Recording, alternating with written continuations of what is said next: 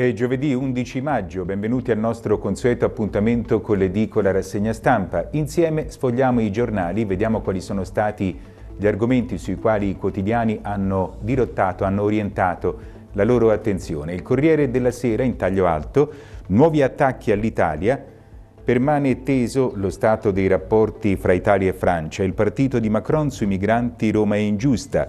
La vice premier spagnola riforme contro i lavoratori. Da Parigi e Madrid critica al governo. Meloni ci usano per regolare conti interni.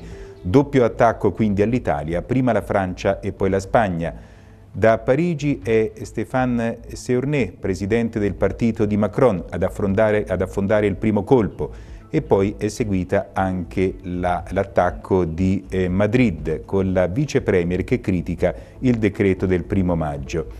Il difficile equilibrio tra i poteri, le scelte sul PNRR, i dossier economici sono discussi con sempre maggiore frequenza e questo aspetto, rileva Francesco Giavazzi nel suo articolo, Riguarda anche gli stessi componenti della compagine di governo. Fotografia a centropagina fa riferimento alla vittoria dell'Inter nel derby di Coppa dei Campioni contro il Milan, Euroderby di Champions, l'Inter vince il primo round, i nerazzurri battono 2-0 il Milan, martedì la gara di ritorno.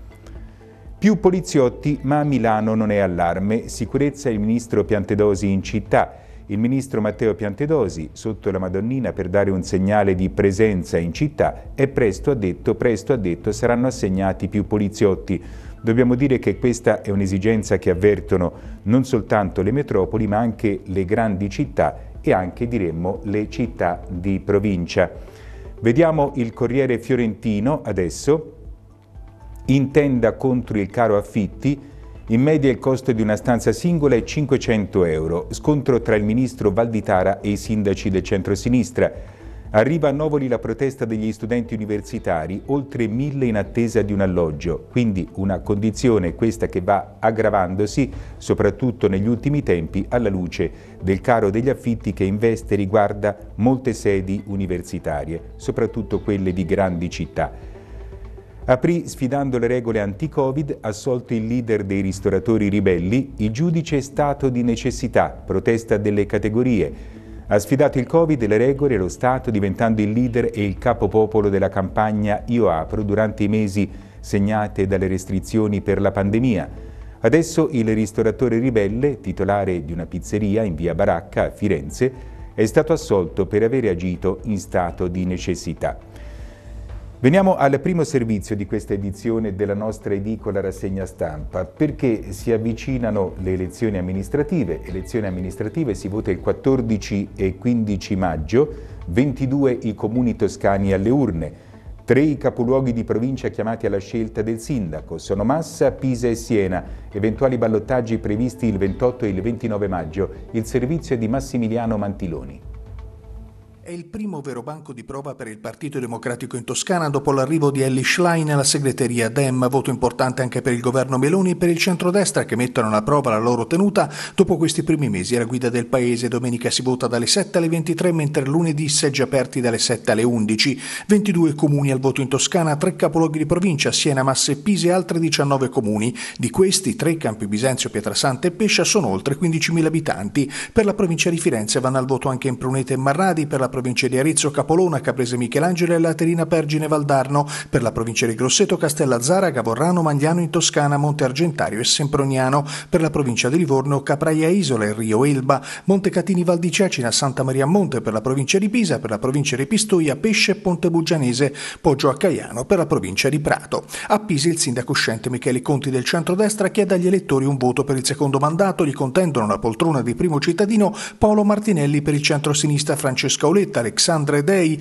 Rita Mariotti, Edoardo Polacco. A Siena sono otto i candidati, Anna Ferretti del centro-sinistra, Nicoletta Fabio del centro-destra, Alessandro Bisogni, Elena Boldrini, Roberto Bozzi, Massimo Castagnini, Emanuele Montomoli e Fabio Pacciani. A Massa otto i candidati e coalizioni spaccate, tra questi anche il sindaco uscente Francesco Perziani, sostenuto dalla Lega, e l'ex assessore ai lavori pubblici Marco Guidi, sostenuto da Fratelli d'Italia. Ci sono poi Daniela Bennati, Movimento 5 Stelle, Marco Nenzoni, sostenuto dalla lista Massa Insorge, Guido Mussi, Repubblicani, Cesare Ragaglini, sostenuto dalla lista Cesare Ragaglini Sindaco, Andrea Barotti Civico, Enzo Romolo Ricci, espressione del centro-sinistra con il Partito Democratico in testa.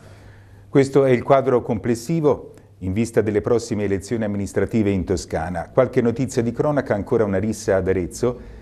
Eh, nel pomeriggio di ieri animi fortemente agitati in via Turati, vicino alla rotatoria di via Sette Ponti, ad affrontarsi intorno alle 18 cinque cittadini romeni che sono stati subito identificati dagli agenti della polizia e portati in questura sono in corso i dovuti accertamenti. Vediamo la cronaca di Arezzo adesso della Nazione. Schianto muore accanto al marito, tragedia di indicatore, un'altra vittima. La Porsche guidata dal benzinaio la portava al lavaggio, il nodo velocità, quindi l'elevata velocità potrebbe essere una delle cause di quanto è accaduto. Ambulanze al bivio il giorno della verità, oggi l'atteso incontro in regione i conti sono in difficoltà per tutte le associazioni che devono garantire comunque l'assistenza. I rischi per la rete di soccorso, vale a dire quelle che possono essere anche le ripercussioni nel servizio che viene offerto.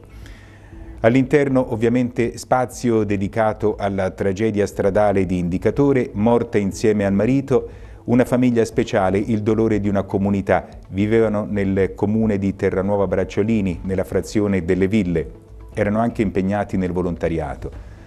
Ambulanze al crocevia, oggi vertice in regione per scongiurare i possibili tagli. Bezzini chiama Arezzo. E poi si parla anche del tracciato futuro della Due Mari, il cavalcavia in giardino, gli espropriati Due Mari, in 200 la prima riunione del comitato, saremo assediati dentro casa, ho un'azienda, i camion non potranno entrare e chiedono le modifiche, vale a dire ci sono i rappresentanti di questo comitato che chiedono di rivedere un po' quelle che sono le caratteristiche principali di questo progetto. Economia un anno a rallentatore, la crescita tiene ma i consumi calano, questo è quanto emerge anche dal rapporto Prometeia che è stato sviluppato dalla Camera di Commercio di Arezzo e Siena, mentre a fondo pagina uno studio di CNA le tasse pesano ma meno che nelle altre province. Perché? Perché questo rapporto che è stato redatto da CNA dimostra che Arezzo è una città virtuosa, ma il 52% del reddito d'impresa viene assorbito dalla tassazione. Proprio il rapporto fra tasse e imprese è l'oggetto di un'indagine condotta dalla categoria del settore artigiano. Vediamo insieme il servizio che abbiamo realizzato.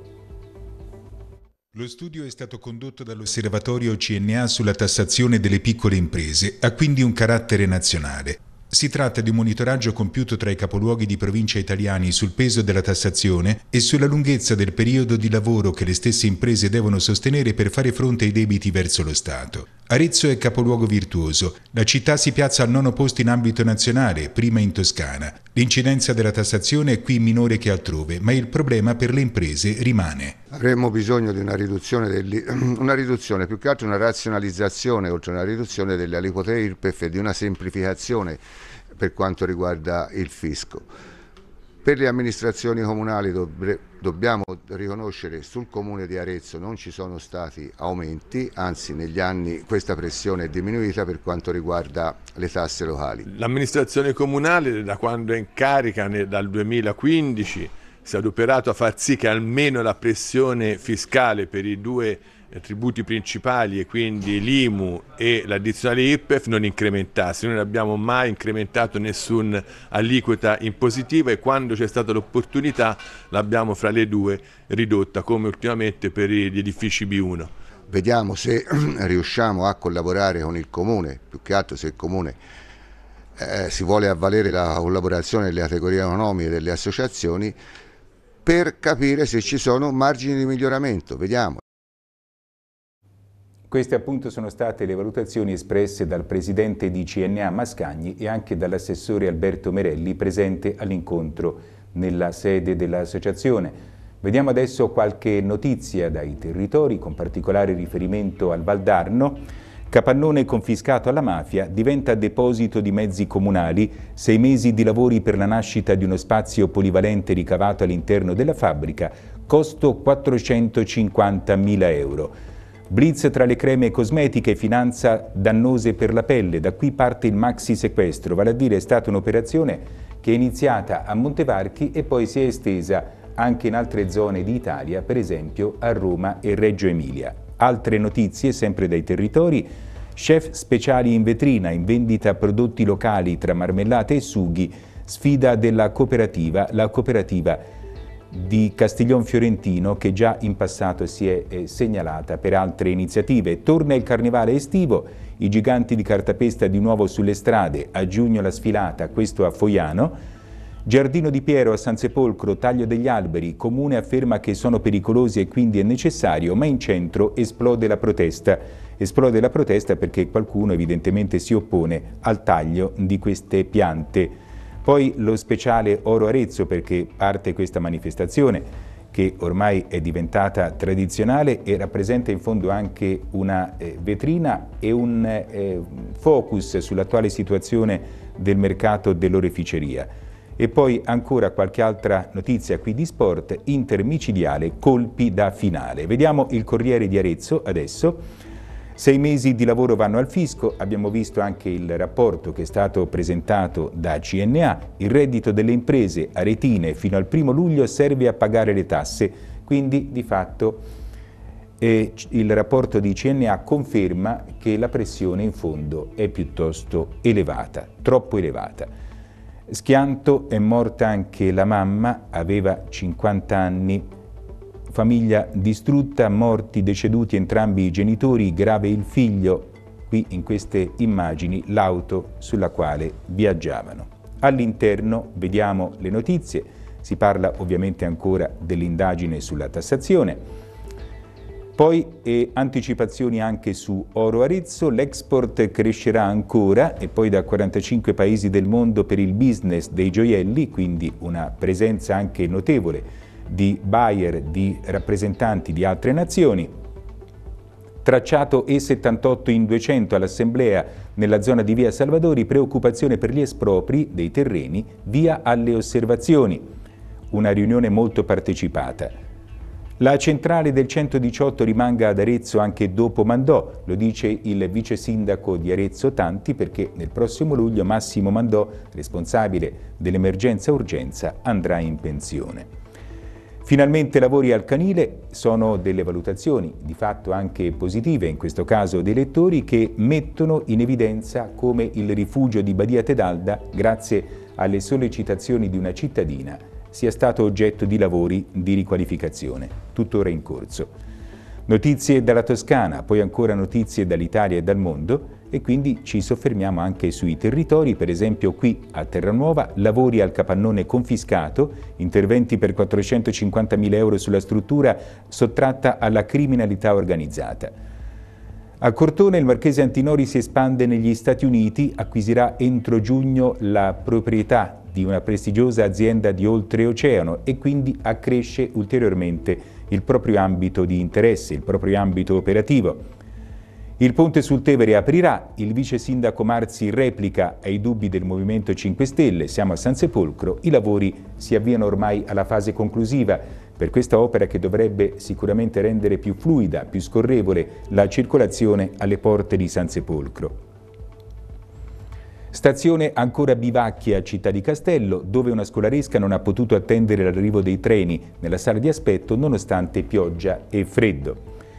Poi ancora altre informazioni, sempre dai territori. Da Magione ladri tentano il furto del bancomat, hanno provato a rubare una cassaforte a Sant'Arcangelo, la scoperta dei residenti della frazione e poi sono stati individuati comunque anche grazie alle segnalazioni che sono pervenute in pratica dagli stessi residenti. Quindi si ricrea in fondo anche qui un senso di collettività a tutela della propria sicurezza.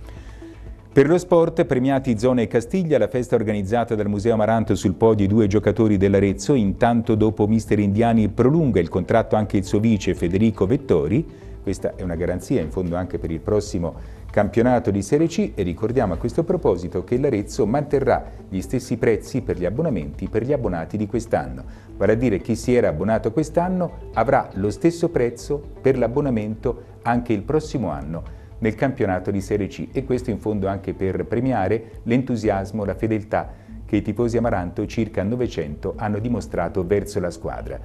È tutto per questa edizione della nostra edicola rassegna stampa, grazie della cortese attenzione, vi lasciamo insieme con i nostri programmi. Buongiorno!